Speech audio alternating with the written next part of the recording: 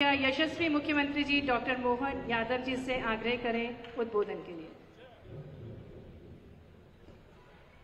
मेरे साथ सभी ज़ोर से बोलेंगे, भारत माता की।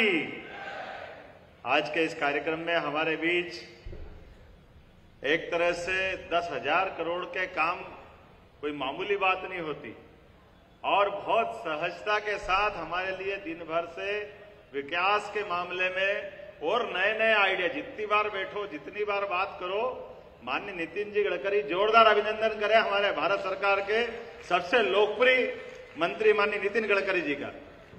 आज के इस अवसर पर हमारे बीच में वर्चुअल रूप से जुड़े हुए मध्यप्रदेश विधानसभा के माननीय अध्यक्ष और पूर्व केंद्रीय मंत्री माननीय श्रीमान नरेंद्र सिंह जी तोमर साहब, समादरणीय श्रीमान ज्योतिरादित्य सिंधिया जी सिंधिया जी, जो भारत सरकार के लोकप्रिय और एक के बाद एक सौगात दिए जा रहे हैं। अभी ग्वालियर से परसों फिर, ग्वालियर से अहमदाबाद की एक नई फ़्लाइट की शुभारंभ परसों होने वाला।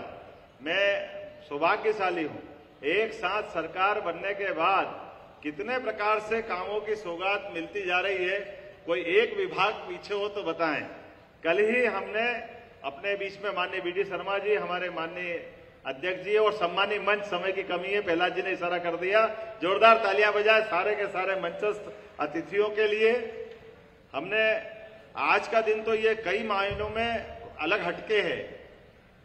हज़ारों साल से मध्य प्रदेश, देश का प्रदेश होने के मध्य में होने के कारण से उत्तर, दक्षिण पूर्व पश्चिम, जहाँ कहीं भी किसी को भी आना जाना पड़ता था तो सदैव उसका मार्ग मध्य प्रदेश के ही मार्गों से निकलता था।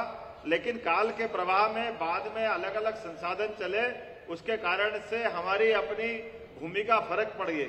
और उसका परिणाम यह आया कि कई सारी संभावना जो हमारे यहाँ थी, आज़ादी के बाद से जो अभी आंकड़ा बताया कि लगभग पाँच हज़ार किलोमीटर का जो हमारा सत्तर साल का रिकॉर्ड था। और अभी आज लगभग पौने दस साल हुए हम और ऐसे में वापस ये पाँच हज़ार किलोमीटर का नया मार्ग बनाना ये बात बहुत बड़ी बात है। और ऐसे में खास करके ये कौन सा क्षेत्र छूटा है? अभी हाल पूर्व में भी भाषण में सभी में आया है। गुजरात से जाने वाले मार्ग हो, उसी का भी भूमि पूजन हम कर रहे हैं। इसी के साथ साथ निमाड़ का, निमाड़ से खरगोन के रास्ते से महाराष्ट्र जाने के, वो मार्ग का भी हमारे इसी कार्यक्रम से उसका भूमि पूजन, लोकार्पण समय की कमी है। अन्यथा हमारे लगभग सत्रह ज़िले इससे लाभान्वित हो रहे हैं। सत्रह जिलों के अंदर अलग अलग प्रकार से। और खास करके चंबल का बेल्ट, मालवा का बेल्ट, ये तो इसके अंदर जितने राजमार्ग है और अपने निगर के किनारे बसे हुए मार्ग है, जैसे मुरैना हो, भिंड हो, या ऐसे कई ब्यावरा हो, सबके बाईपास मार्ग बनाने का काम इसी के साथ हो रहा है। मैं उम्मीद कर रहा हूँ कि जिस प्रकार से हमारी अपनी अलग अलग प्रकार के विभागों की गति चल रही है, आवागमन के माध्यम से सबसे बड़ी भूमिका यही रहती है, अगर राजमार्ग बनते हैं तो निश्चित रूप से राष्ट्रीय स्तर पर हमारी अपनी क्षेत्र की विभिन्न प्रकार की गतिविधियाँ बहुत तेज़ी से बढ़ाई जा सकती है। खास करके औद्योगिक गतिविधियाँ और खासकर हमारा अपना प्रदेश तो कृषि विकास दर में। यशस्वी मुख्यमंत्री शिवराज सिंह जी चौहान के नेतृत्व में एक नई ऊंचाइयों पर गया था, अब उसको और आगे ले जाने के लिए। इसी प्रकार के मार्गों की आवश्यकता है। पूर्व मुख्यमंत्री जी ने जो जिस प्रकार से काम किए थे हम सब जानते हैं कि विकास के मामले में पूरा मंच हम सब मिलकर के इकट्ठा होकर के, और आज जो नया एक नई इबारत लिख रहे हैं, एक तो खास करके राजमार्ग की बात आती, लेकिन जब ये माननीय गडकरी जी का भाषण आएगा तो अभी वो बताएँगे कि हमारे यहाँ केवल राजमार्ग मतलब सड़क मार्ग की बात मत करो, अब जल मार्ग की बात भी करिए। जल मार्ग के माध्यम से भी बहुत बड़े पैमाने पर यातायात की संभावना होगी, और जल भी नहीं, थल भी नहीं अब वो वायु मार्ग की बात भी करते हैं कि रोपवे और केबल कार, और केबल कार में भी वो चार या छह की नहीं पचास पचास यात्री बैठ जाए उनको भी ले जा सकते हैं। अभी तक मैं सुन ही रहा था, भाई साहब कह रहे थे कि क्या ऐसा हो सकता है कि भोपाल के बड़े तालाब के ऊपर से पूरी की पूरी केबल कार निकाल दो, और आज के जमाने में बोले कठिन काम भी नहीं जिस प्रकार की कल्पना है, वो हमको लगता है कि कई बार असंभव तो नहीं है। लेकिन वो उनके रहते रहते कोई असंभव नहीं है। इथेनॉल से, मिथेनॉल से, विभिन्न प्रकार के हाइड्रोकार्बन से, खास करके हाइड्रोजन से, जो जिस प्रकार के वाहन व्हीकल चलाए जा रहे हैं। और जो जो भविष्य की संभावना है कि हमारे पास अपने संसाधन को बचाते हुए अब विद्युत वाले वाहन क्या कोई कल्पना कर सकता था कि हमारी बसें, इलेक्ट्रिक बसें सड़क पे आ जाए और कार सड़क पे आ जाए, लेकिन ये हमारे भविष्य की दृष्टि से भारत के संसाधन के लिए, खास करके पेट्रोल, डीजल को लेकर के भारत की जो विदेशों पर निर्भरता है, उसके बजाय ये हमारी जो वैकल्पिक मार्ग की जो व्यवस्था है, ये वैकल्पिक जो वर्तमान की शोध हुई है, उन शोध का लाभ लेते हुए जितने भी प्रकार से आगे बढ़ सकते हैं, मैं आपको आश्वासन देना चाहूँगा, यशस्वी माननीय गडकरी जी, आपके नेतृत्व में और यशस्वी प्रधानमंत्री के नेतृत्व में हम जितने भी प्रकार के आप बाकी विभागों के लिए भी तालमेल करते हुए प्रत्येक क्षेत्र में आप मार्गदर्शन करें मध्य प्रदेश सरकार आपके साथ कदम से कदम मिला के चलेगी।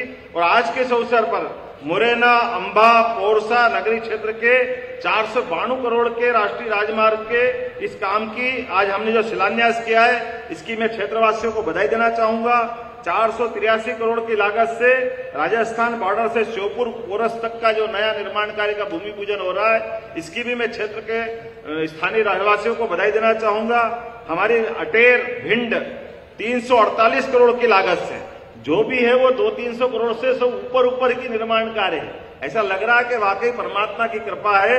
417 करोड़ की लागत से गोरख श्यामपुर खंड, इसी प्रकार से एक करोड़ की लागत से श्यामपुर सबलपन खंड, इसके नए निर्माण का आज भूमि पूजन हुआ है। 120 करोड़ की लागत से ब्यावरा बाईपास का, जिसका मैंने ज़िक्र थोड़ी देर पहले किया है, इसका आज भूमि पूजन हुआ है।